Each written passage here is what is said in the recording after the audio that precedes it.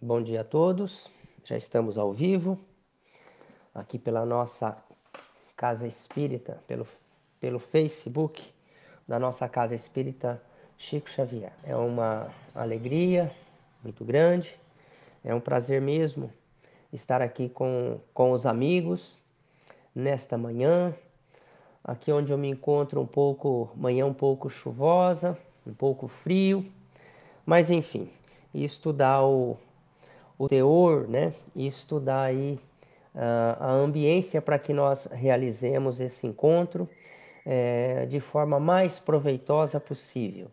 Estamos aqui para conversar sobre a nossa tão querida doutrina espírita que tanto é, nos esclarece e, e, faz com que nós é, busquemos cada vez mais o conhecimento, a compreensão e o entendimento sobre os mecanismos que regem a vida, né?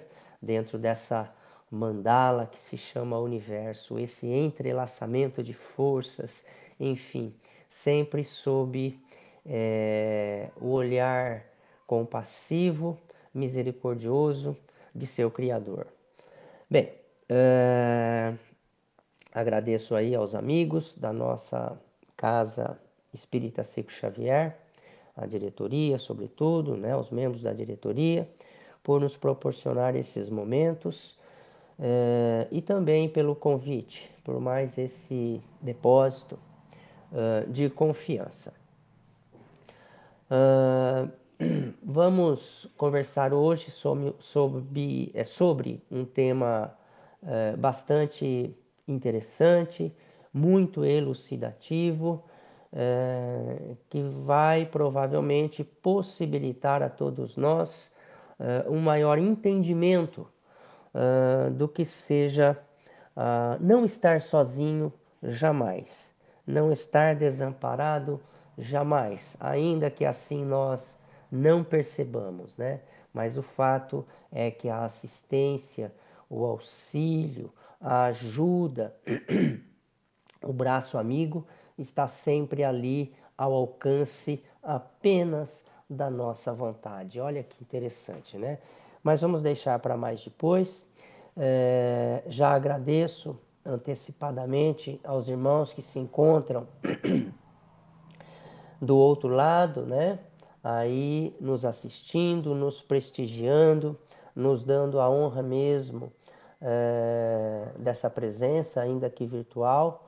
E agradeço então, como disse antecipadamente, é, pela paciência e por estar aí é, nos prestigiando, portanto, é, nesta manhã. Né? Vamos elevando o nosso pensamento para que nós possamos fazer a nossa prece inicial. Aqueles que, que quiserem podem deixar aí a água para ser magnetizada.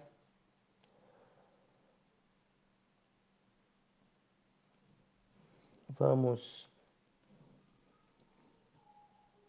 enviando, endereçando a nossa mente para as altitudes espirituais entregando a nossa humilde oração à espiritualidade como forma de energia e que de alguma maneira essa energia possa alcançar aqueles que dela necessitarem.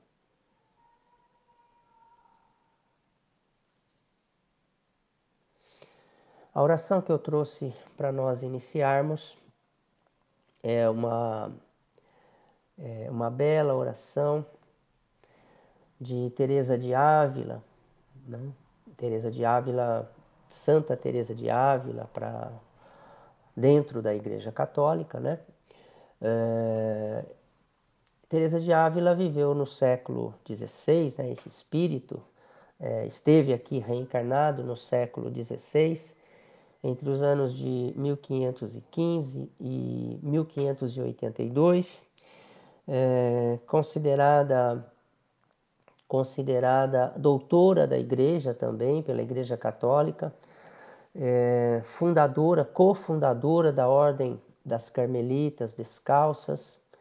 Enfim, é uma escritora, uma mestra espiritual e também comparece como espírito aqui é, dentro da nossa doutrina, trazendo seus belíssimos ensinamentos. Né? É, de acordo com o que consta, Teresa de Ávila é, foi teria sido é, a encarnação de Maria Madalena ao tempo de Jesus. E as primeiras notícias, né, que nos chegam é, dessa desse espírito, ele teria também é, realizado, né, esse espírito realizado encarnações é, lá na extinta Atlântida, né, o continente perdido. Então é um espírito é, já vinculado ao nosso ao nosso orbe, né, ao nosso planeta Terra, como um de, um de nossos irmãos maiores, que vez ou outra aqui se apresenta para nos auxiliar e desde a espiritualidade nos auxiliando sempre. Né? Aliás, é o tema de hoje, né? É o auxílio que nós recebemos da espiritualidade. Então vamos à nossa oração, aproveitando aqui a prece de Teresa de Ávila. Uma linda prece, por sinal, bastante profunda, bastante é, penetrante dentro das realidades espirituais. Nada te turbe, nada te espante, tudo passa. Deus não muda, a paciência tudo alcança. Quem a Deus tem, nada lhe falta, só Deus basta. Eleva o pensamento, ao céu sobe, por nada te angusties. Nada te perturbe, a Jesus Cristo segue com grande entrega. E venha o que vier, nada te espante. Vês a glória do mundo? É glória vã, nada tem de estável, tudo passa. Deseje as coisas celestes, que sempre duram. Fiel e rico em promessas, Deus não muda. Ama-o como merece bondade imensa. Quem a Deus tem, mesmo que passe por momentos difíceis, sendo Deus o seu tesouro, nada lhe falta. Só Deus basta. Que assim seja.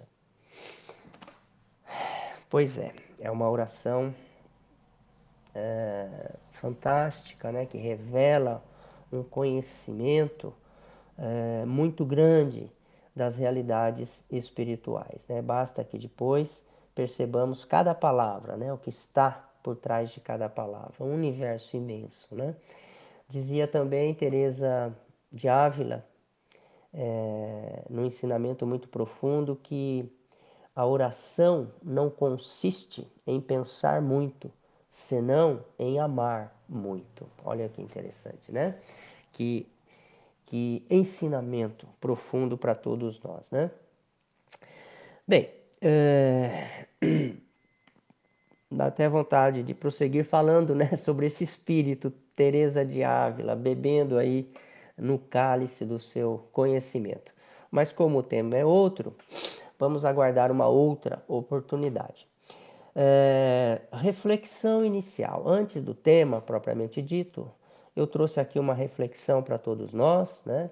Lembrando que aqui é uma conversa entre irmãos, não se tem qualquer pretensão, né? Senão a de compartilhar, né? Com, com os amigos, com os irmãos, alguma forma de reflexão, né? Que, quiçá, possa ser útil, então, àquele que, que as ouve, né? É, como reflexão inicial, nós temos, é, eu busquei em Miramês, o espírito Miramês, outro espírito luminar também, né, que, no, que está aí para nos ensinar, para nos dar o exemplo, para nos apontar rumos, enfim. espírito de Miramês, que numa de suas encarnações quase né, teria sido contemporâneo de Teresa de Ávila. Ambos, né? Olha que interessante, coincidência, né? É, como não há né, coincidência, aparente coincidência. Ambos de Espanha, né? Teresa de Ávila, Miramês. Miramês chegou ao Brasil em mil, no ano de 1649. Interessante, e por aqui ficou, né?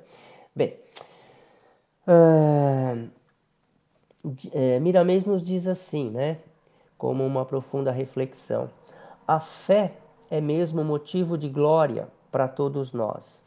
Já falamos muitas vezes e tornamos a dizer que as dificuldades por fora se encontram enraizadas por dentro. Mudemos na intimidade que tudo fora se mudará na mesma sequência. Essa operação interna é difícil, mas nunca impossível se começarmos, mãos invisíveis nos ajudarão. Se começarmos, mãos invisíveis nos ajudarão. Pois é, mãos invisíveis nos ajudarão, né? É o que é, Miramês nos ressalta. É, na verdade, ele nos traz uh, uma verdade sublime, né? Aliás, a reflexão toda é a expressão, né? É uma expressão dentro da, daquilo que nós já podemos compreender dessas verdades sublimes, né? A começar é, no sentido de que as dificuldades por fora, né, que nós eventualmente encontramos, elas estão enraizadas por dentro. Nós precisamos é, fazer o desenleio né, daquilo que está por dentro de nós, né, as nossas emoções, é, enfim, a nossa compreensão às vezes estrábica, né, da realidade próxima, né, daquela realidade aparente, enfim. E se começarmos né, o processo de mudança, mãos invisíveis nos ajudarão, diz Miramês. Bem, aqui começa então o estudo né, dessa manhã, essa ajuda que recebemos. Mãos invisíveis nos ajudarão. Que mãos invisíveis seriam essas? Não, não podemos perder de vista a condição estabelecida pelo benfeitor espiritual. Se começarmos, essa é a condição. As mãos estarão lá prontas, amorosamente prontas a nos auxiliar. Porém, há necessidade de que nós comecemos o processo da mudança. E me parece que o processo da mudança que buscamos, que é necessário para todos nós, porque não se evolui no mesmo lugar, a necessidade do movimento, esse movimento ascendente, né? É, e aqui é um movimento ascendente de consciência, é a expansão da nossa consciência. E me parece então é, que esse, essa, esse começo de movimento, esse começo de mudança, de transformação, passa aqui pelo nosso singelo e modesto estudo desta manhã. Né? Aliás, como em todas as palestras da nossa casa espírita, eh, todas elas representam eh, um auxílio, uma oportunidade né, de reflexão que eventualmente culminará no nosso despertamento, ainda que de uma forma lenta, de uma forma é, processada vagarosamente, porque não a evolução é, não ocorre de uma hora para outra, né? não dá saltos. É, enfim, mas tudo isso é um processo de mudança. É um início a que nós nos propomos quando é, buscamos, de alguma maneira, esse conhecimento. Né? E se nós buscamos fora, nós vamos descobrir depois que esse conhecimento é, está dentro de nós mesmos. Todo o conhecimento reside em nós mesmos. O que nós precisamos é fazer o lustramento, digamos assim, né? É fazer a purificação uh, do nosso interior para que esse conhecimento reluza, rebrilhe, né? porque ele já se encontra. Aliás, não é outro ensinamento que está contido no livro dos Espíritos. Né? Onde estão as leis de Deus? E o que representam as leis de Deus, senão a sabedoria de Deus, né? a inteligência de Deus presente nessas leis? Então, onde estão essas leis? E os Espíritos respondem: estão na nossa consciência. Está lá na questão 621. Ora, se estão nas nossas consciências, elas já estão, já residem dentro uh, de cada um de nós, na intimidade de cada um de nós. Nós precisamos apenas encontrar o meio de acessar essa inteligência, essa sabedoria, esse conhecimento de Deus que nos sustenta desde que nos tornamos espíritos. Olha que interessante, né? Bem, é... quanto ao tema, então, espíritos protetores, né?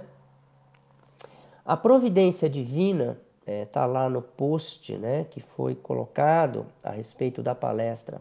A providência divina envolve a criação em todos os seus aspectos. E é preciso aqui um, um esforço para que nós possamos uh, ainda que em vislumbre, compreender né, o que está sendo dito. A providência divina envolve a criação em todos, sem exceção, portanto, né, em todos os seus aspectos, e diríamos aspectos de manifestação. Olha que interessante. Assim, o Espírito encarnado, como parte da criação, o Espírito encarnado como parte da criação, nós fazemos, né? Parte da criação, não somos exclusivos. Há milhões, milhões e infinitas outras formas de manifestação de Deus na natureza, nós somos uma delas, né? É... Então, nós somos parte da criação. O espírito encarnado, então, como parte da criação, recebe o amparo, o consolo e o alento para avançar na escala do progresso que lhe cumpre realizar. Ou seja, não estamos uh, sós, não estamos uh, desassistidos. Né? São instrumentos, continua né, o texto, são instrumentos desse sublime auxílio os espíritos de condição evolutiva mais elevada. A compreensão de tal fato faz com que o jornadeiro terrestre, que somos nós, não mais se sinta sozinho e desassistido. Olha que interessante, nós precisamos compreender essa realidade. Essa realidade da assistência que nós recebemos de forma ininterrupta, diuturnamente, dia após dia, momento após momento. Estamos ali assistidos, né? estamos ali auxiliados ao alcance, como foi dito inicialmente, ao alcance apenas da nossa vontade. Nós precisamos é, buscar essa compreensão, fazer com que essa compreensão se torne uma realidade dentro de, de nós para que nós possamos então é, andarmos pelos caminhos da vida de uma forma mais altaneira, né? De uma forma mais altaneira, de uma forma mais segura, porque sabemos que o auxílio está ao nosso lado. Bem, uh, para nós compreendermos o início do texto, né, a providência divina, porque muito se fala em providência divina, mas o que seria efetivamente essa providência divina? Então eu trouxe aqui é, para compartilhar né, com os amigos, para dividir com os amigos, é, o que está na Gênese, né, segundo o Espiritismo, ou seja, a Gênese de Kardec. A Gênese faz parte é, daqueles cinco livros, né? Que alguns consideram como é, o Pentateuco, né, os cinco livros mais importantes da doutrina. Né? Isso na visão de alguns. Uh, então a Gênese, é, embora a Gênese, né, como o próprio nome diz, se refira ao princípio de tudo, a Gênese é o último livro né, desse, dessa série de cinco livros. Nós sabemos que o livro dos Espíritos, que é o, o, o livro que nós tomamos por base para o estudo de hoje, é, foi o, a primeira obra né, de Kardec no ano de 1857. E a Gênese foi um ano antes do seu desencarne, no ano de 1968. É, e nas palavras do próprio Kardec, a Gênese foi o resultado de um maior amadurecimento daquelas informações que ele mesmo, Kardec, teria recebido ao longo uh, de seus estudos uh, da parte da espiritualidade. Então, foi um amadurecimento maior sobre a compreensão desses entendimentos e que resultou então nesse livro A Gênese. Olha que interessante, né? Essa, essa notícia que Kardec nos traz. Bem, lá na Gênese, então, no livro né, da Gênese, no capítulo 2, intitulado é, Deus, tem um, um subcapítulo lá é, que é a providência. Tá lá nos, depois para quem quiser dar uma olhada, dar uma estudada, né, melhor dizendo, é, com mais vagar, está lá então no, entre os itens 20 e 30, né, do capítulo 2, Deus, naquilo que se refere à providência. Então diz lá no, no item 20 né, da Gênesis que a providência é a solicitude de Deus para com as suas criaturas. Ele está em toda parte, tudo alcança, tudo preside, mesmo as menores coisas. É o que está escrito lá. É nisto que consiste a ação providencial. É como está lá. É, providência, né? Se nós formos buscar aqui é, o entendimento é, da palavra providência e da palavra solicitude, porque Kardec disse que a providência divina é a solicitude de Deus para com as suas criaturas. Para que melhor compreendamos então, providência, né? Providência tem o sentido de disposição prévia dos meios necessários para a consecução, ou seja, para o atingimento de um fim. Na religião, né? Na religião seria considerada a palavra providência é, como sendo a ação pela qual Deus conduz os acontecimentos, olha, o, o que significa, né? A ação pela qual Deus conduz os acontecimentos e as criaturas para o fim que lhe foi destinado. E aí nós já pensamos, né? É, na nossa encarnação, no propósito da encarnação, no propósito da vida, enfim, né? O que é o propósito é, da existência do espírito, se não seu aperfeiçoamento, né?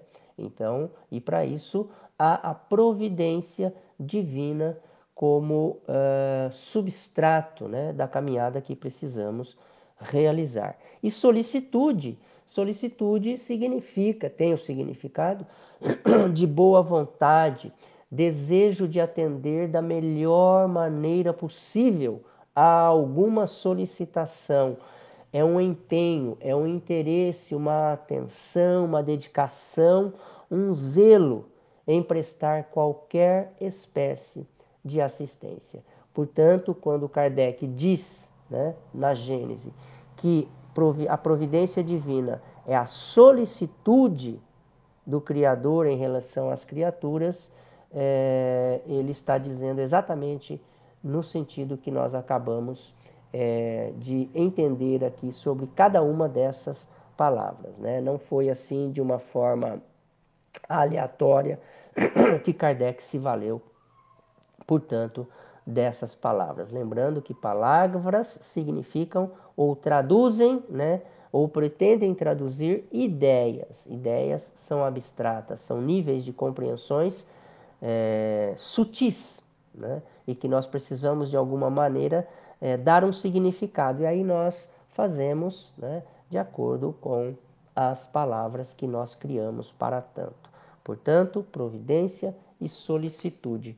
Diz no item 24 da Gênese, né, faço questão aqui de trazer para os amigos de forma textual, é, o seguinte: a natureza inteira está mergulhada no fluido divino. A natureza inteira está mergulhada no fluido divino. Porque é, se Deus atende as suas criaturas, como Deus atende? Né? Poderia ser perguntado. Como que Deus atende? Deus está é, vigiando a cada um de nós? Deus sabe daquilo que nós precisamos ou aguarda que nós façamos a solicitação? Né? Então é sobre isso que Kardec está discorrendo. Então, no item 24, ele diz: a natureza inteira está mergulhada no fluido divino. Nenhum ser haverá, por mais ínfimo que o suponhamos, que não esteja saturado dele. Saturado do quê? Do fluido divino. Né? Nós sabemos pela doutrina que todo o universo é, a construção do universo se dá por um fluido, um fluido que dentro da doutrina, é, dentro da doutrina, né, é denominado fluido cósmico universal. Ele é a base de toda a manifestação do universo. É isso que nós aprendemos. Também está lá no livro dos Espíritos. Então, esse fluido cósmico universal, esse fluido divino, né, ele é como, como se fosse o material de construção de todo o universo. E, por ser uma energia, por ele veicula, por ele é, transita, digamos assim, a inteligência de Deus, a sabedoria de Deus. Olha que interessante, né? Por isso que Kardec diz que a natureza inteira está mergulhada no fluido divino, e nenhum ser haverá, por mais ínfimo que o suponhamos, que não esteja saturado dele. Prossegue Kardec: achamos-nos então constantemente em presença da divindade. Nenhuma das nossas ações lhe podemos subtrair ao olhar o nosso pensamento está em contato ininterrupto com o seu pensamento do Criador. Né? Havendo, pois, razão para se dizer que Deus vê os mais profundos refolhos de nosso coração. Refolhos aqui significando né, é, os mais íntimos departamentos né, do nosso coração.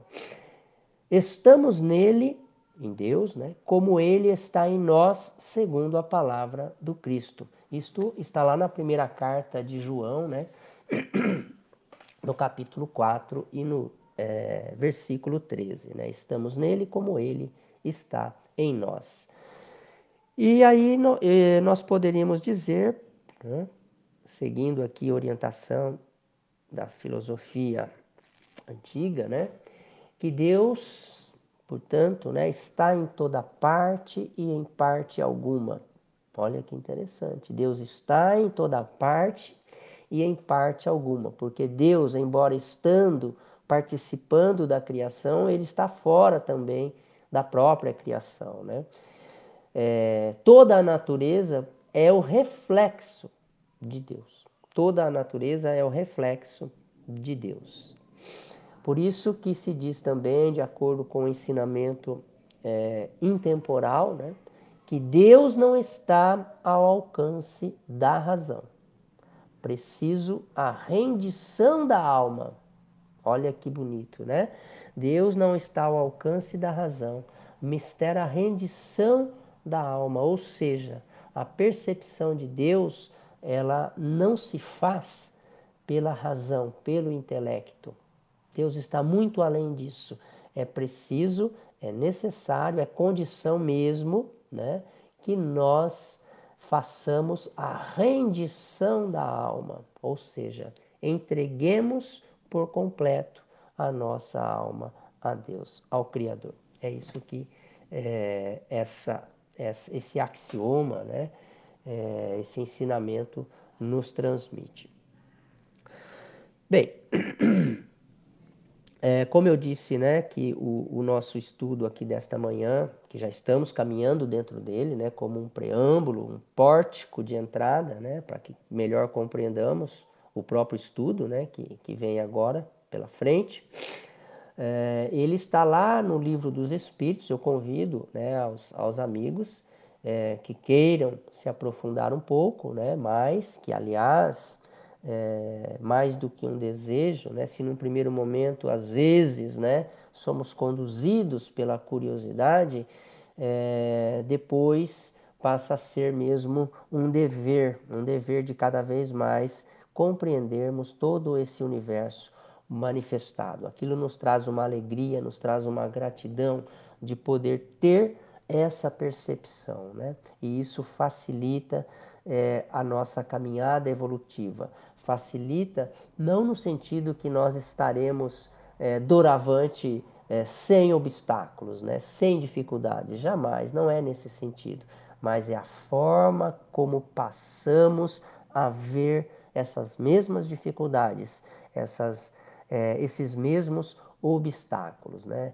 É, eles deixam de ser abismos em que nós poderemos cair a qualquer momento e passam a ser pontes para nos conduzir a um degrau, a um patamar mais elevado é, de conhecimento e de sabedoria. Olha que interessante.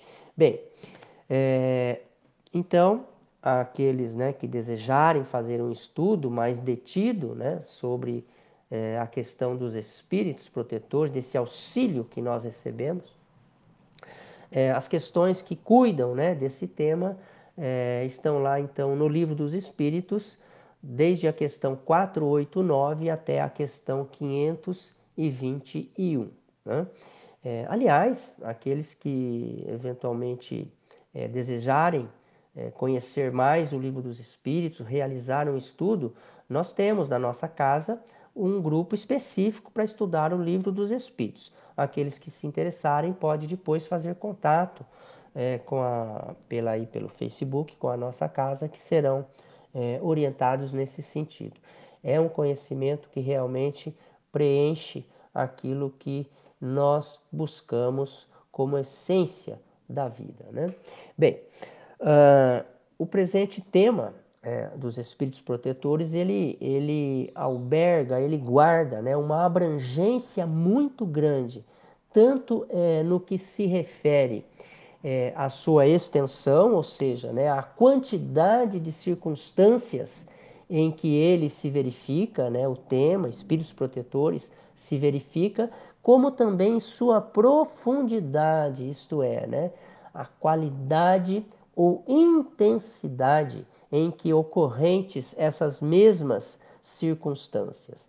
É, em outras palavras, a proteção que, que recebemos e, e, mais à frente nós vamos compreender melhor é, o que significa essa proteção. Né? Então fiquemos por enquanto é, com o entendimento aí é, que já possuímos sobre a palavra proteção. Então, se pudéssemos, em outras palavras, dizer sobre a questão da extensão e da profundidade do tema, essa proteção então que todos nós recebemos, ela pode se dar em todos os níveis, todos os níveis de experiências pelas quais passamos, independentemente eh, de quantas e quais sejam, de quantas e quais sejam essas experiências, desde as mais simples às mais eh, complexas, desde eh, as mais perceptíveis às mais imperceptíveis e até mesmo em relação àquelas totalmente imperceptíveis. Há realidades que nos ocorrem que nós sequer percebemos, mas que estão ali é, de alguma maneira estimulando a nossa jornada espiritual. E nós não percebemos porque nos falta ainda esse sentido, esse maior alcance de percepção. Né? Então, é nesse sentido mas elas estão ali é, ocorrendo, eles estão ali é, de alguma maneira fazendo a gestação uh, daquilo que depois virá ao plano da consciência. Como podemos é, verificar, né, a proteção que recebemos é, dos espíritos como decorrência da providência divina, é, há pouco trazida né, em consideração, é ininterrupta essa proteção, é ininterrupta e pródiga né, é, em nosso benefício. Entretanto, como, como nós vamos ver, né, é necessário que a ela nos façamos, nos tornemos receptivos. Ela está lá, pronta para nos auxiliar, para nos ajudar essa proteção, mas é necessário que nós, em relação a ela, nos tornemos receptivos, pois não há, né? Pois não há é, pela, pela espiritualidade superior, conforme nos ensinam, ou nos ensina essa mesma espiritualidade superior, não há da parte dela, portanto, violação, violação da nossa intimidade. Nós vamos compreender também isso, se é que já não compreendemos, né? Então, a espiritualidade é superior, ela de forma alguma força-nos a qualquer é, situação, ela não viola a nossa intimidade, ela deixa que a ação seja total e livre de nossa parte. Tudo isso né, que eu estou fazendo aqui é basicamente um modesto resumo daquilo que está inserido nas questões a que me referi, né, sobre os espíritos protetores desde a 489 até a 521, lá no Livro dos Espíritos. Então, estou trazendo aqui é, um resumo, né, para que nós possamos é, depois é, percorrer cada uma das questões, se assim é, desejarmos. Outro ponto é, a considerar, e, e, sempre né, de acordo com o ensinamento dos nossos é, irmãos maiores, é, é o de é, esse, esse outro ponto é o de que muitos, numerosos, né, são os espíritos que acompanham o homem encarnado, que acompanham o homem encarnado. Interessante que alguns, por uma soma de tempo é, muito expressiva, muito grande, né? outros em tempo menor e outros ainda é, apenas de forma circunstancial. Todos, entretanto, todos eles, entretanto, sejam aqueles que nos acompanham mais ostensivamente e mais largamente, sejam aqueles que nos acompanham por um período de, tempo menor, ou sejam aqueles que nos acompanham apenas circunstancialmente. Né? E nós veremos depois é, isso com mais é, detensa, com mais vagar também. Todos eles, né, porém, é, ainda que nós não compreendamos, né, é, porque temos ainda é, bastante embotada a nossa percepção, temos ainda bastante restrita a nossa percepção espiritual, porque é, depende de um olhar espiritual, um olhar da alma e não um olhar físico com os olhos da matéria, né? É nesse sentido.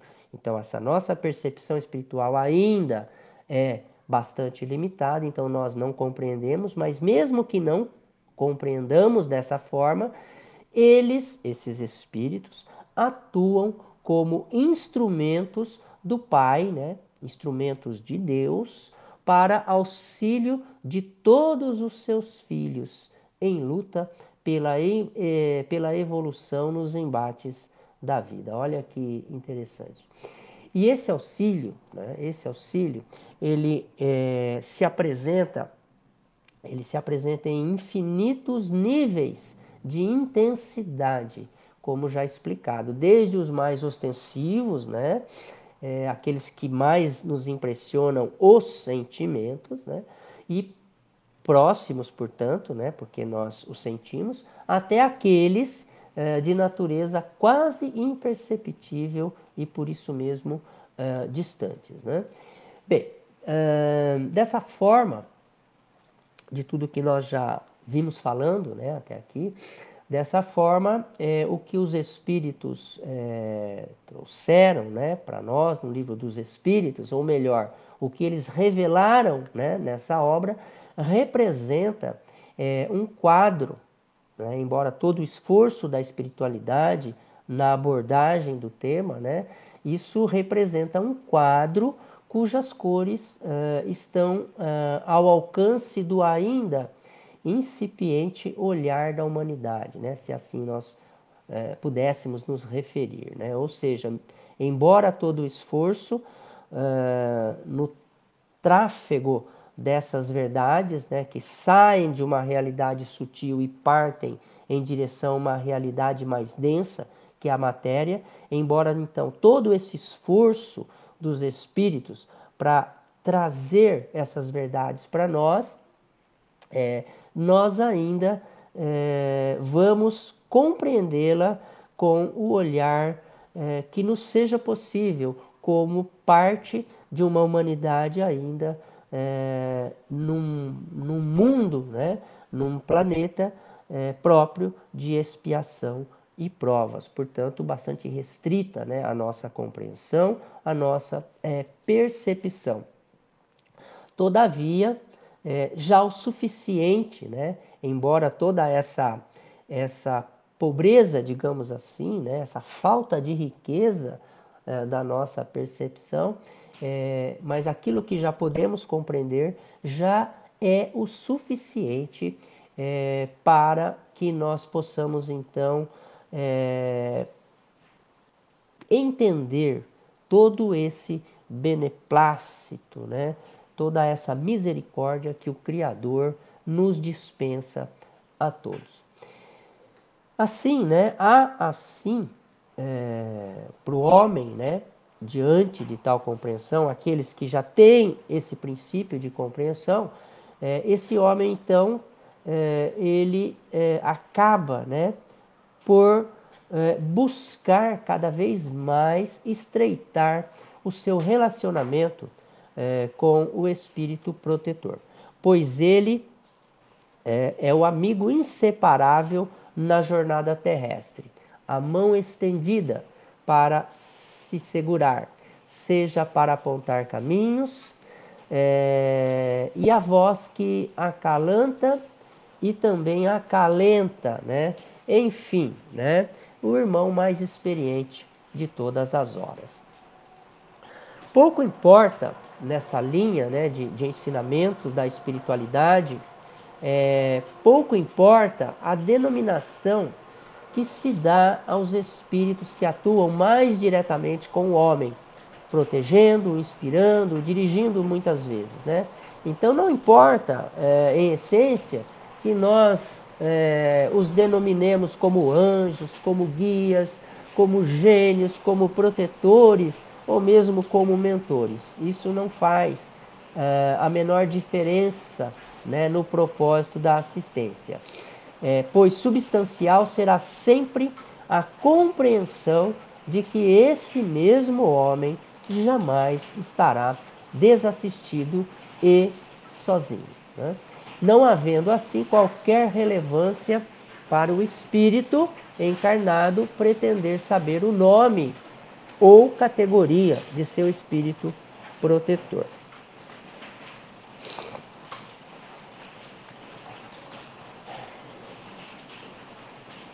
Aviso aos amigos que começou uma chuva é, muito forte aqui e vamos pedir a Deus, né, que nós não tenhamos problema aqui com a nossa internet. O espírito protetor, ele sempre será de uma estatura espiritual mais elevada, mais elevada, não necessitando ser perfeito. É o que nos ensinam os espíritos em O Livro dos Espíritos. Portanto, o espírito protetor uh, não significa que ele é um espírito perfeito, puro, né? Essa sua missão, eh, a de protetor, também constitui para ele causa de aperfeiçoamento ou oportunidade de aperfeiçoamento. Ainda que o seu protegido, que somos nós aqui, espíritos encarnados, ainda que seu protegido não demonstre interesse no alto progresso, no alto progresso, pois a responsabilidade sua, né, como protetor, fora realizada. Olha que interessante, né? É possível que nós, que, que nós tenhamos uh, um espírito protetor, possível que eu estou dizendo, não no sentido de que haja um espírito protetor, sempre haverá, né? conforme nos ensinam é, os espíritos. Então sempre haverá um espírito protetor. Mas é possível que, mesmo havendo então um espírito protetor, nós não demonstremos interesse é, no alto progresso e, portanto, nós fechemos as portas de atuação desse mesmo espírito protetor. Olha que interessante, né? Então, é, nós estaríamos, estaríamos, né? É, pela falta de compreensão, deixando de ter a possibilidade, a oportunidade de ser assistido, né? de evitar muitos empeços né? na nossa jornada, porque fazemos então ouvidos moucos né? aos apelos desses nossos amigos da espiritualidade. O espírito protetor é, ele atua em diversos níveis de abrangência, podendo ser é, essa podendo ser essa atuação em relação a um espírito apenas ou uh, a uma coletividade. Interessante isso, né, que nos ensinam. O espírito protetor ele pode estar ligado, vinculado, né, a sua missão pode ser em relação apenas a um espírito, como a uma coletividade de espíritos, né?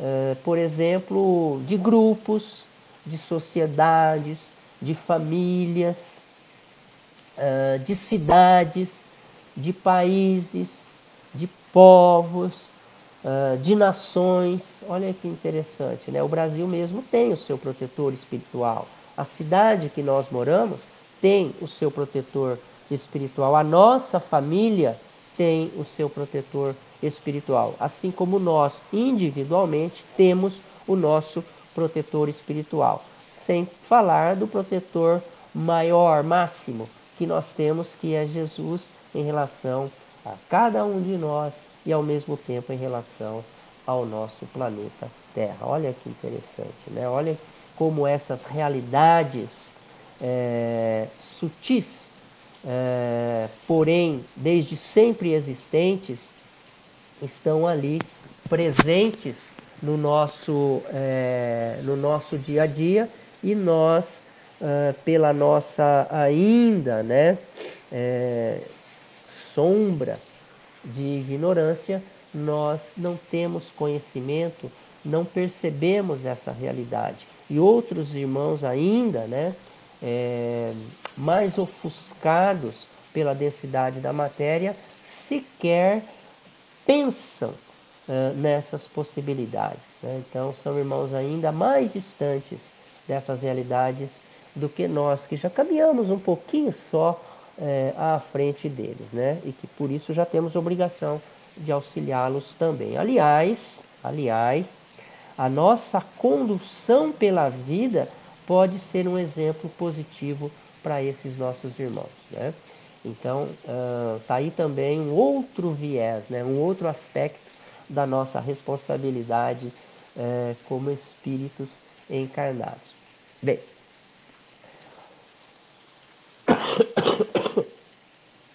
ao contrário uh, do que eh, do que nós possamos crer, né? Eh, o espírito protetor nem sempre será um espírito puro, conforme já adiantamos, né? Nem sempre será um espírito puro. Aliás, é, na condição é, por que passa, pela qual atravessa a humanidade, esse espírito, o protetor, né, também está progredindo. É o que nos ensinam, né? É, os, os, espíritos é, maiores, né? Eles também, os protetores, estão em evolução, estão em situação de progredir. E interessante é que o espírito protetor é, uma, é um detalhe muito importante para nós, né, para o nosso, para a formação do nosso conhecimento. O espírito protetor, por sua vez, é, igualmente está sob, sob os auspícios, sob os cuidados né, de outro espírito que lhe seja superior. Também o protetor é um protegido. Olha que interessante, né? É, pois na dimensão uh, de provas e expiações, a qual todos estamos vinculados, todos precisam de uma uh, assistência e supervisão que provenham, né, essa assistência e essa supervisão provenham de irmãos maiores. Informação interessante essa, né? Apenas os espíritos perfeitos, os puros, né? Esses já caminham por si mesmos, né? Olha, então assim, é, nós podemos indagar. Ora, se o espírito protetor também é um protegido, né? E se eles atuam em todos os degraus da existência, nós, por nossa vez, embora é, ainda palmilhando, né? É, experimentando os primeiros passos do despertamento, nós, por nossa vez, talvez já possamos ser de alguma maneira espírito ou irmão protetor de alguém que esteja na nossa retaguarda. E realmente isso ocorre, né? Então, todos nós, em cada degrau que nos encontramos, eh, nós temos a possibilidade de auxiliar. Aliás, eh, crescer em ascese está proporcionalmente eh, vinculado àquilo que nós servimos aos nossos irmãos. Evoluir é servir, né? Nenhum mestre, nenhum sábio se tornou é, dessa forma sem servir. Aliás, a missão do sábio é servir. É o que nos dizem os espíritos é, incumbidos aí de impulsionar o nosso progresso, né? o nosso processo evolutivo. Né?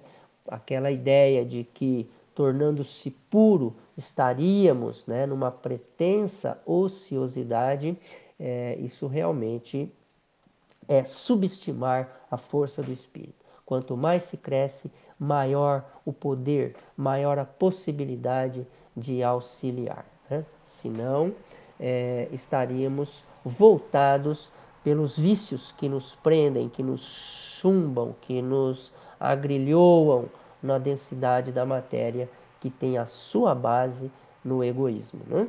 Bem, uh...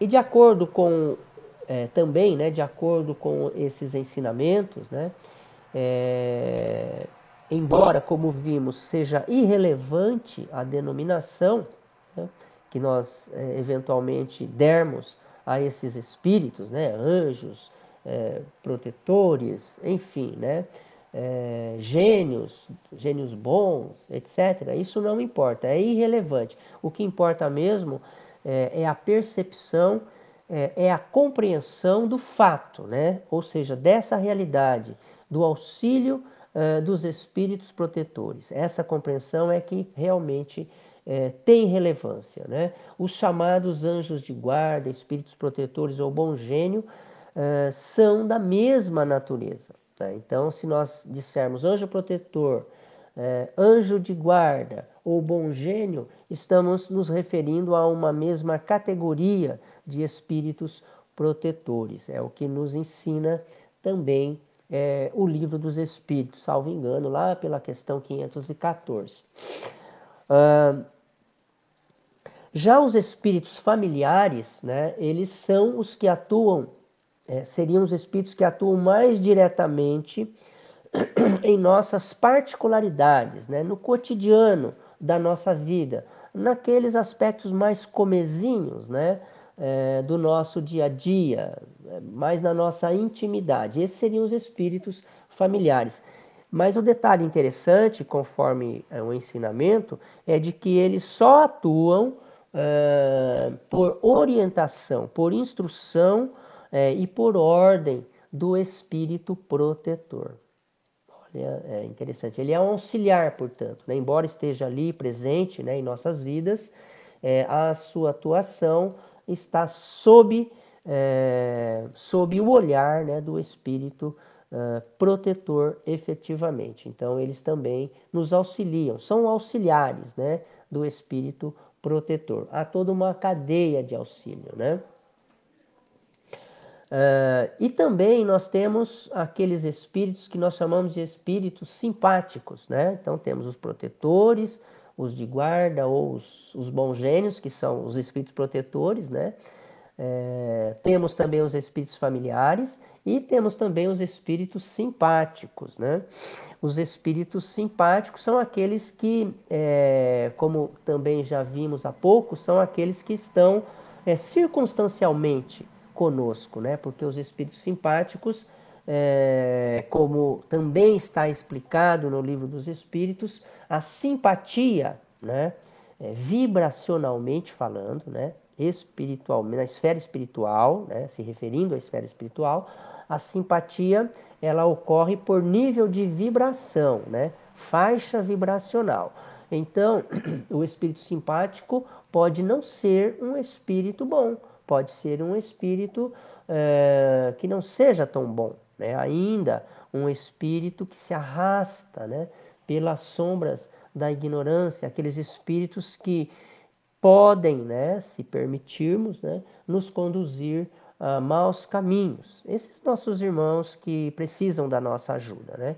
Então, é, se a nossa faixa vibracional em algum momento, né, é, estiver na mesma faixa vibracional desses espíritos, pode ocorrer é, de essas inteligências mais obtusas, né, essas inteligências mais densas, se aproximarem de nós, nos acompanharem mesmo por simpatia. Né? Então, esses são os espíritos que estão conosco de maneira circunstancial, a depender, portanto, é, da frequência que nós emitimos é, em todas as nossas ações, em todos os níveis dessas ações, né? Seja é, por pensamento, seja por palavras, seja por atos físicos, efetivamente. O espírito protetor também nos informam, né? É, ele pode nos acompanhar não só em uma encarnação, mas por várias encarnações. Ele pode nos acompanhar por várias encarnações. Interessante, né? Podemos ter o mesmo espírito protetor em várias das nossas é, encarnações. É, e por maior seja a, a superioridade do espírito protetor, ele jamais, conforme já vimos, ele jamais se imporá, né? Ou invadirá o nosso livre-arbítrio, é, porque ele deixa para nós, né, é da lei, né, ele deixa para nós toda a responsabilidade e o mérito. Olha, interessante isso, né? Aí está, né? Aí está de uma forma geral, claro, né? É, foi uma síntese, uma humilde síntese, né? Que, que buscamos aqui trazer para os amigos como matéria de reflexão. Uh, uma síntese, então, daquilo que que diga respeito né, ao tema é, espíritos protetores, que tema esse que está lá no livro dos espíritos. Né? É, mas é, o que nós podemos depreender né, disso que falamos é que há uma prodigalidade, né, há uma multiplicidade de oportunidades de ascensão, né, de ascese, dentro da escala evolutiva. Pois todos, né, todos em qualquer, é, em qualquer degrau uh, de evolução, todos terão uh, oportunos e importantíssimos trabalhos a desenvolver é, dentro né, desse imenso e sublime concerto divino. Né? Então, todos nós, independentemente do nosso nível evolutivo, nós temos condições de auxiliar na obra da criação. Aliás, esse é um ensinamento recorrente da parte da espiritualidade. Aliás, é mesmo uma das missões da, uh, do espírito encarnado, né? Do espírito encarnado.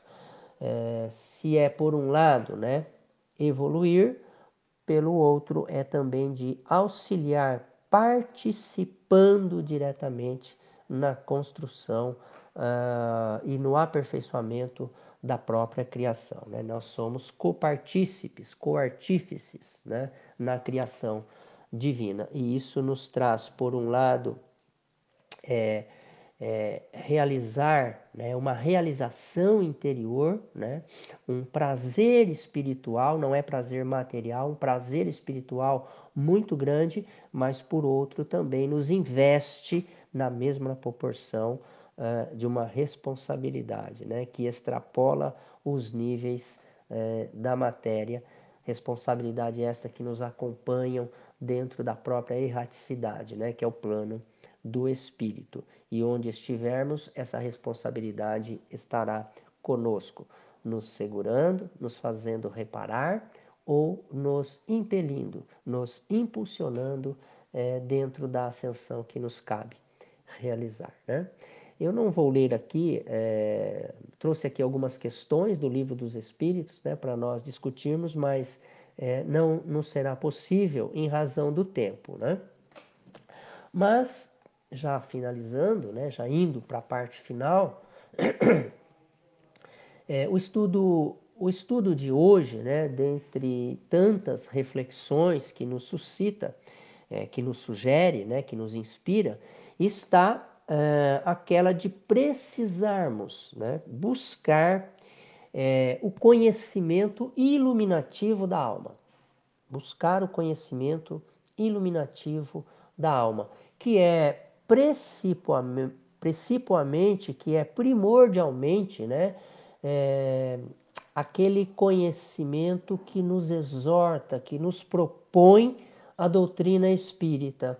Interessante, né? Ou seja, está no âmago da doutrina espírita, né, o despertamento. Ela nos propõe a todos, nos possibilita a todos o despertamento o despertamento, já que ainda o homem, né, na sua generalidade, permanece dormitando, né, adormecido entre as sombras da própria é, ignorância.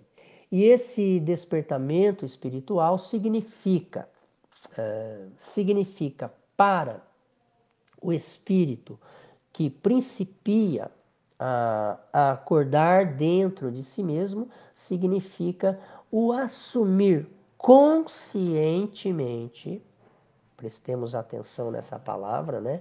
Assumir conscientemente seu processo de evolução. É lindo isso, assumir conscientemente o seu processo de evolução. O processo uh, natural, né?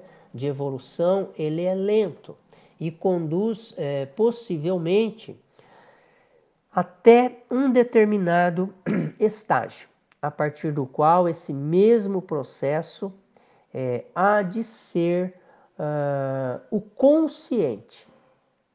Nós saímos de uma inconsciência evolutiva até certo ponto e penetramos na, a partir daquele ponto é, nos horizontes em que são exigidos né, uma consciência evolutiva.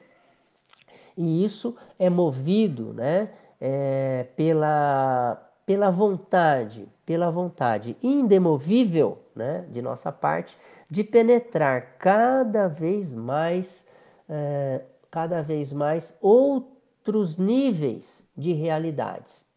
Níveis tais, né, níveis esses, de realidades um após outro, um após outro, a sutilizarem-se é, ao infinito. São infinitos, pois, né, é, os níveis de realidades que nós vamos ao, a pouco e pouco penetrando quando ampliamos a nossa consciência.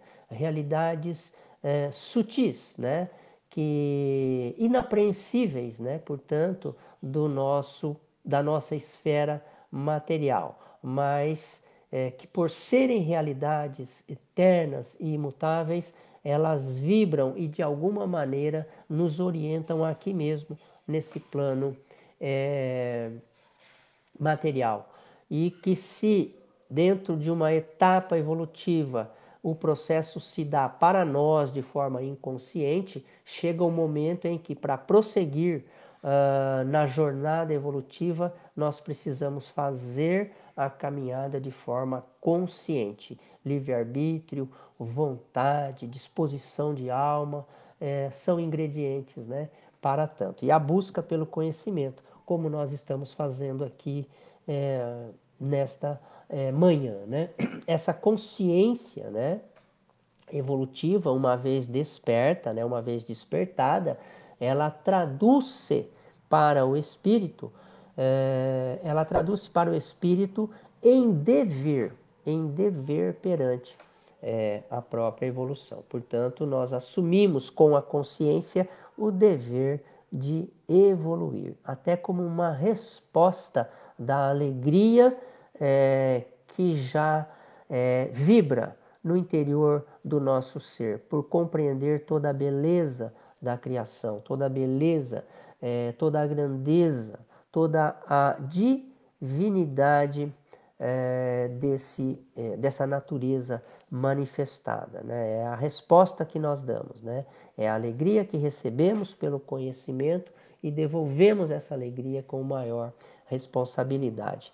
Interessante que para isso, né, nós precisamos ter boa vontade, como foi dito. E aqui estou me lembrando é, do filósofo, do pensador, de um espírito maior da nossa humanidade que esteve aqui para nos auxiliar, que foi Confúcio, né?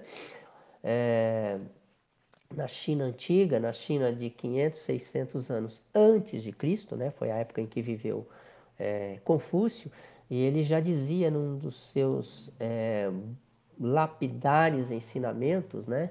Que é, a preguiça, a preguiça anda tão devagar que a que a pobreza facilmente a, a alcança. A preguiça anda tão devagar que a pobreza é, facilmente a alcança. É claro que ele não se referia nem à pobreza e nem à preguiça material, né? mas sim à pobreza e à preguiça espiritual. Olha que interessante, né?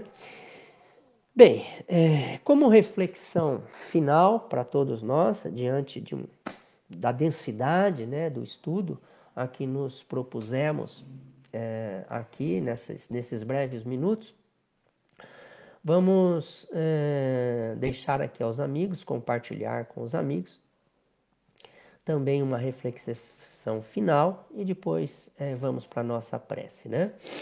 Mostramos-nos todos, né, mostramos-nos empenhados é, na busca pelo conhecimento para permitir despertar a luz que já potencialmente habita na essência de nós mesmos. Para tanto, aos poucos, caminhamos da ignorância para a sabedoria, da escuridão para a alvorada do espírito. Assim, aquele que se fascina pela superfície do oceano desconhece a riqueza de suas profundezas.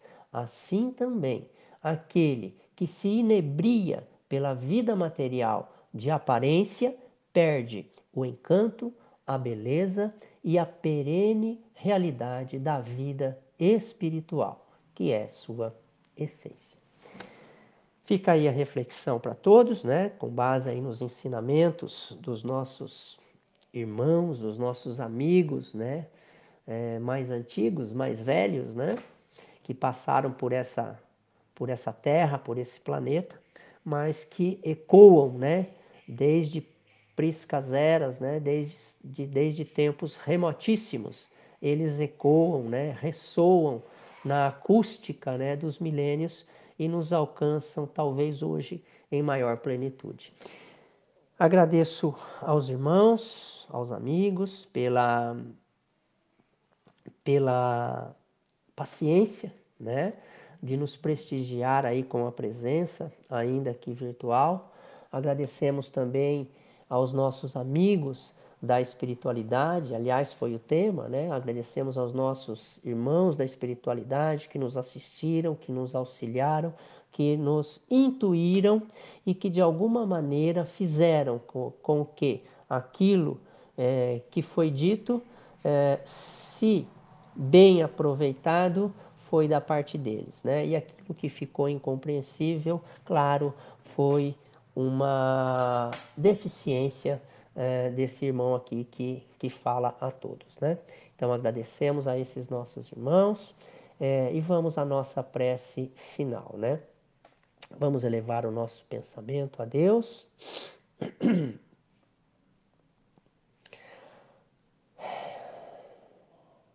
Sempre com a alegria e com a gratidão no coração, porque sabemos que aquele que já vive em gratidão, é, não encontra tempo para reclamação.